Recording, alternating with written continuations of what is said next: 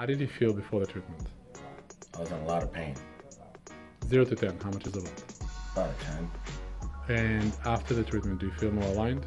I feel more aligned. I feel less stress to my neck and my lower back starting to feel better. When you walk, did you see a difference?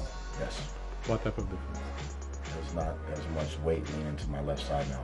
So you feel more aligned. Yes. Is that a good thing or bad? It's a good thing. Happy? Yes.